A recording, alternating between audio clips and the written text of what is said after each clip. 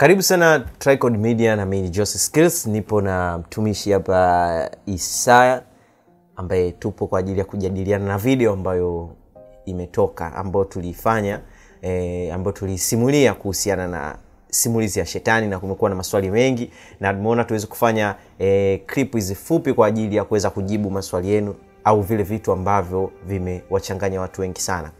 Kwa mimi naweza nikazungumzia kwa upande wangu kuhusiana na Bible lakini pia na e, kuchanganya pamoja na historia nyingine ili uweze kupata elimu zaidi, lakini pia e, mtumishi yupo kwa ajili ya kuweza kuwafafanulia zaidi kwa upande wa kibiblia zaidi, ambapo mimi sitaingia zaidi sana huko.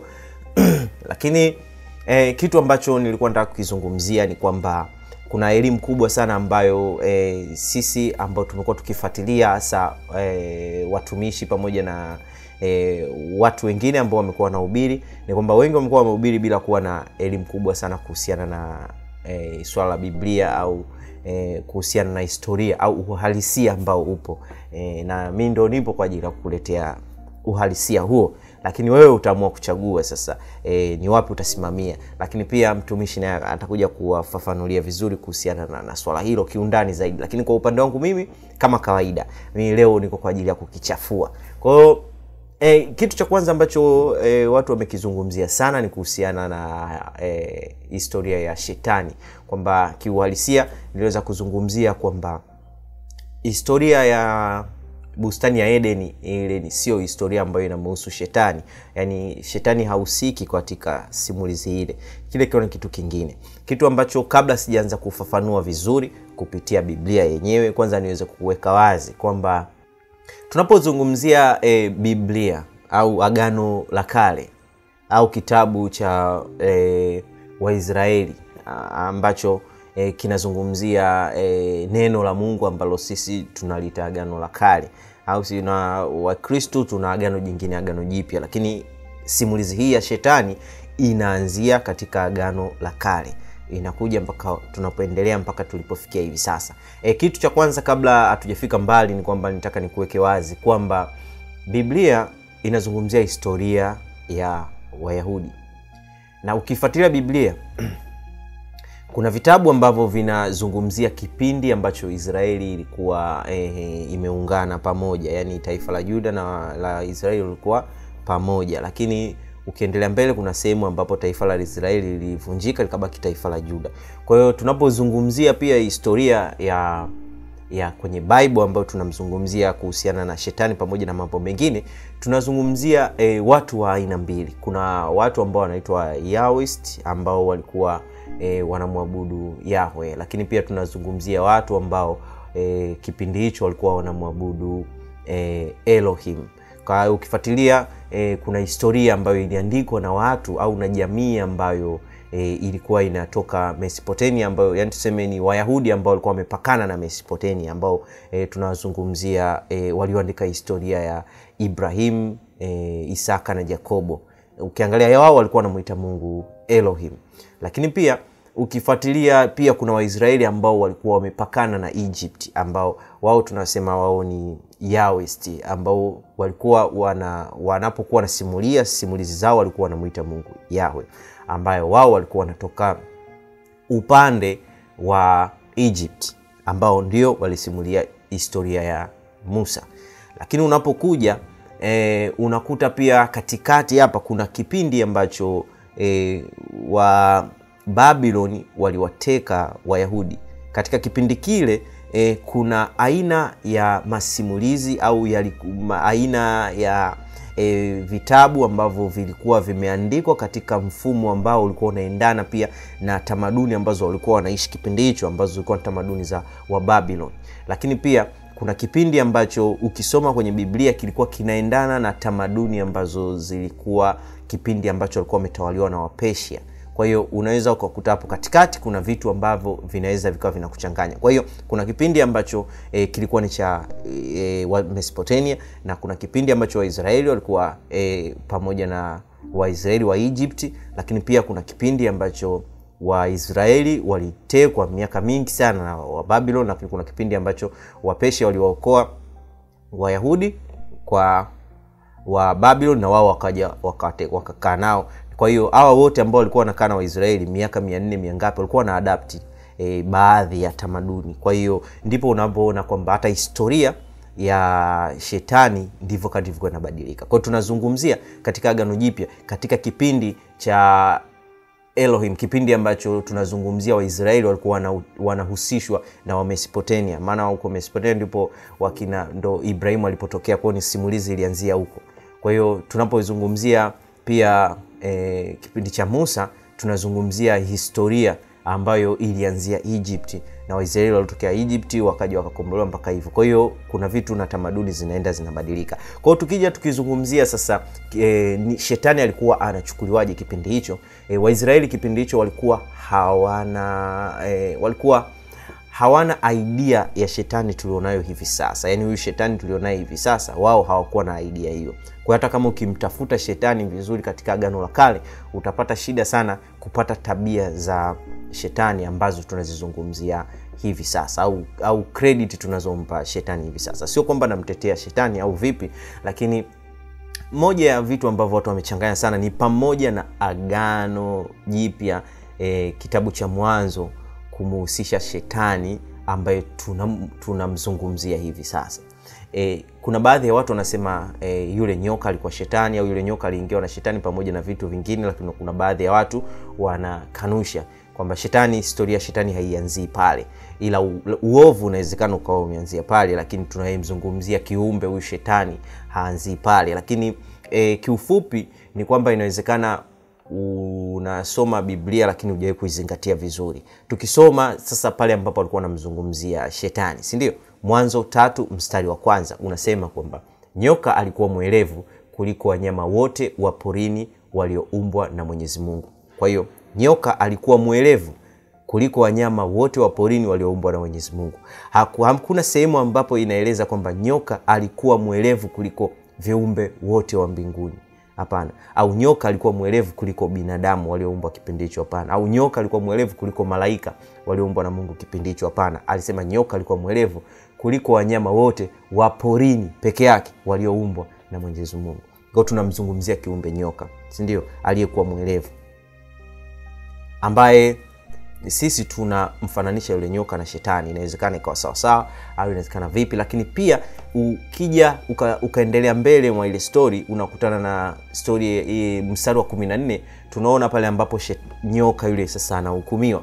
Inasema kisha mwenyezi mungu akamwambia nyoka kuwa umefanya hivyo umelaniwa kuliko wanyama wote wa kufugwa.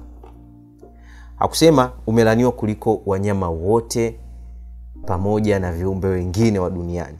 Akusema umelaniwa kuliko binadamu au viumbe wote ambao wataishi duniani au, au na vitu vingine. Walizungumzia kuliko wanyama wote wa kufugwa na wa kuliko wanyama wote wa porini. Kwa hiyo amelaniwa kuliko wanyama wote wa kufugwa pamoja na wanyama wa porini.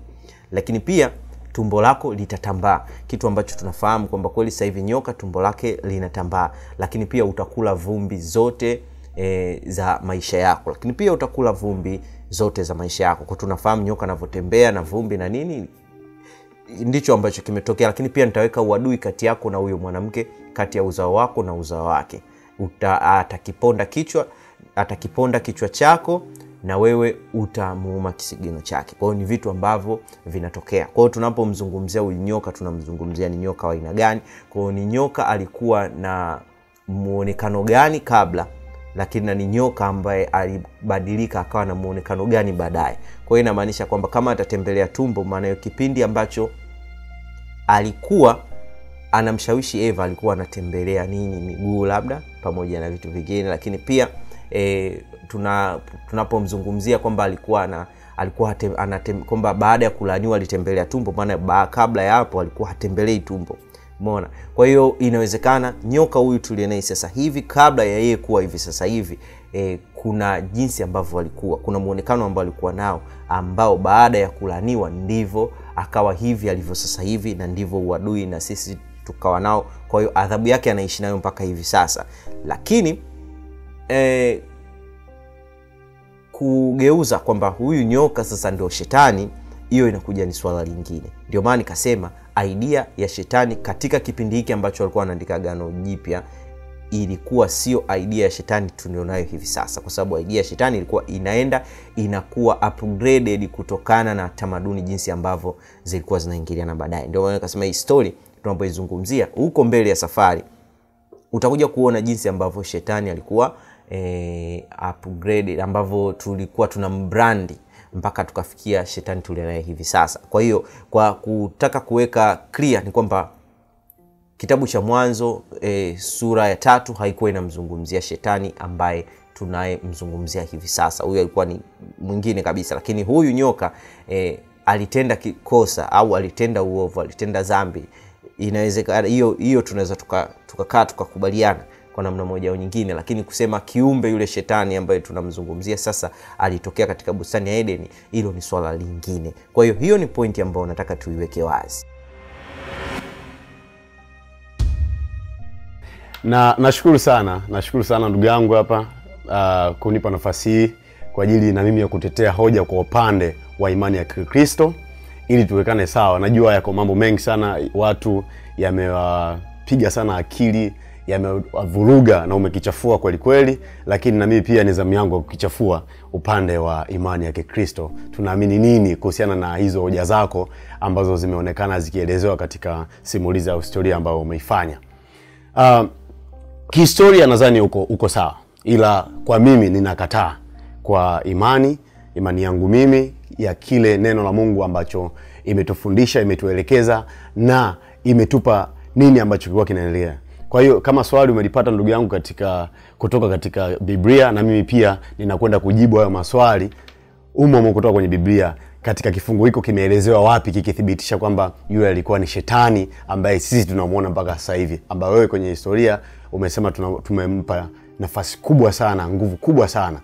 Uh, andiko hilo ambalo ulilisimamia linatoka katika kitabu cha mwanzo sura ya tatu mstari wa kwanza ambao unasema basi nyoka alikuwa mwelevu kuliko wanyama wote wa mwitu aliwafanya bwana mungu. Sasa hapa uka, ukaleta kwamba katika kitabu cha ufunuo haita yani haielezei kwamba ni wapi ambako imemtemu kama yule nyoka ndo shetani au ibilisi ambaye tunamjua sasa hivi. Uh, cha kwanza ni, ni, nije kwako mpenzi mtazamaji na msikilizaji.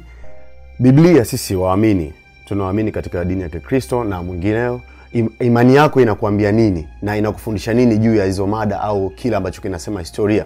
Sisi kitabu cha waibrania 11 inatu, inatuasa kwamba inabidi uamini. Ukitaka kuamini usitaka kupa, usi, usilazimishe kupata reference ya historia. Amini ndani ya biblia nini ambacho kinasema. Imani ni kuwa na hakika mambo yatarajiwayo ni bayana na mambo yasioonekana kwao kuna vitu vingine you should trust hautakiwi kuwa na ukengeufu wa historia nyingi nyingi tafuta majibu kwenye biblia. Ndivyo nami navyokuhasa tuende kwa pamoja. Ulikovurugwa na hilo nami nakuja kukuweka sawa. Naamini tutaenda vizuri. Sasa nami nitatumia maandiko kujibu hoja hiyo ambayo mwenzangu hapa ameileta ame, ame kwenu na najua imewaumiza sana vichwa kufikiria. Uh, andiko hili la mwanzo nitakwenda kulilinkisha na andiko litakaotupa majibu yule nyoka. Kwa nini unathibitisha ndo alikuwa ni shetani? Uh, ukisoma maandiko ufunuo ishirini sura ya ishirini mstari wa kwanza na wa pili maandiko yanasema hivi nitanukuu. Kisha nikaona malaika akishuka kutoka mbinguni mwenye ufungua kuzimu na mnyororo mkubwa mkononi mwake. Akalishika akamshika yule joka yule nyoka wa dhamani ambaye ni ibilisi na shetani. Lile joka yule nyoka wa zamani ndio huyo ambaye alizungumziwa katika kitabu cha mwanzo. Ndio huyo ambaye inatuthibitishia kwamba nyoka yule ndiye alikuwa ni ibilisi au shetani. Andiko linakuwa limemaliza katika hilo. Uamini katika hii majibu tunayapata katika biblia na hatuyapati nje ya biblia. Historia italeta ita, ita terms za kwake na sisi tunaleta terms za biblia inasemaje? Hapa ufunuo inatuambia yule nyoka wa zamani. Yule nyoka wa zamani ni huyo ambaye aliyekwenda akamrubuni eva.